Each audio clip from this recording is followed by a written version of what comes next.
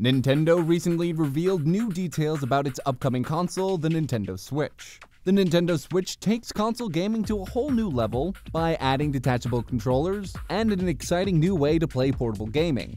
This magic is a big reason why Nintendo is unique. They continue to find ways to delight the gaming community, be it genre defining video games or innovative hardware. With this in mind, here are some of the biggest surprises in Nintendo's history.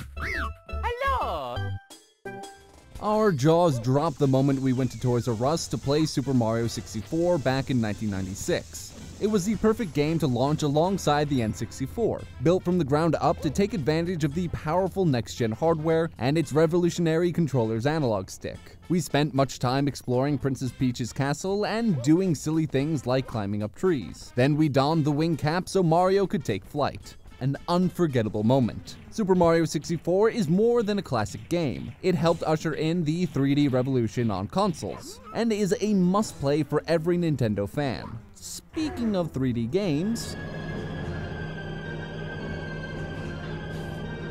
Nintendo isn't afraid to take its beloved franchise in bold directions. Perfect example Metroid Prime for the GameCube. Instead of creating a 2D adventure similar to Super Metroid on the SNES, Nintendo and developer Retro Studios capitalized on the 3D craze to transform Bounty Hunter Samus Aran's GameCube debut into an incredible first person shooter that spawned two sequels. The best part, fans also received that 2D game, Metroid Fusion for the Game Boy Advance, which debuted on the same day as Metroid Prime.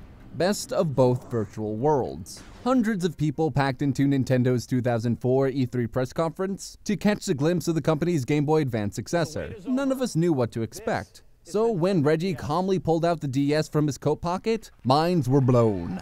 Initially, we were worried that it would be too difficult to pay attention to both the top and bottom screen at the same time. But then we got our hands on the system and this concern was quickly laid to rest. Touchscreen gameplay had arrived. Nintendo's decision to forego a mature Zelda game for something that looks more like a Disney film is still talked about to this day. After showing off gorgeous footage of Link battling Ganondorf in 2000, with an art style that mimicked the beloved Ocarina of Time, the company went in a vastly different direction with cel-shaded graphics and a character overhaul of the series hero, Link.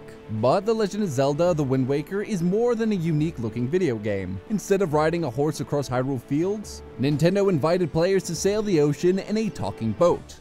Which kinda makes sense for Nintendo. There was plenty of criticism, but Nintendo stood firm. The result? The Wind Waker is a must-have for the Nintendo GameCube, and is easily one of our favorite video games of all time. Meanwhile, Toon Link became a fixture in Nintendo's character lineup, and went on to star in such games as the acclaimed Legend of Zelda The Minish Cap and Super Smash Bros. Hands down, the Wii Remote is the biggest surprise in Nintendo history. Whereas the N64 and GameCube controllers felt like an evolution of the previous Nintendo gamepads, the Wiimote was unlike anything the world had seen. How exactly would we play video games with a TV remote? Of course, Nintendo made everything clear leading up to the Wii system launch, and skeptical consumers embraced the controller the second they played Wii Sports and the rest of the console's incredible lineup of games, which include Super Mario Galaxy, Boom Blox, and Legend of Zelda Skyward Sword. What do you think is one of Nintendo's biggest reveals? Let us know in the comments below. And if you enjoyed what you saw, be sure to like and subscribe. And for more content like this, be sure to head over to primagames.com.